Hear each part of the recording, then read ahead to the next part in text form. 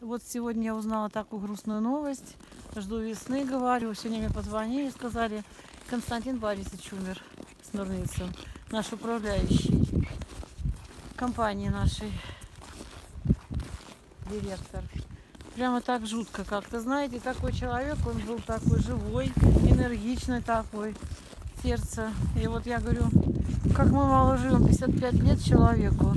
А вот я благодарна, вот весь наш подъезд, вот я вот выхожу, говорю, люди спасибо говорят за эту красоту. А ведь без него бы этой красоты не состоялось. Вы же видели, сколько лет я боролась, чтобы что-то росло, да? Вот пошли покажем. Вот, чтобы что-то там росло у нас, вот где я вам показывала каждый этот сезон, да, теперь. Водичку носила я из квартиры своей собственной в бутылках. А он взял водичку, провел. Господи, спасибо ж ему. И все, что вот не попросишь, все сделает, все уважит, как управляющий. И прямо так, прямо как-то вот думаю, вот как осиротели, правда. Вот человек держал дом в своих руках, э, значит, э, и освещение сделал во дворе. Мы даже забыли, что двор должен быть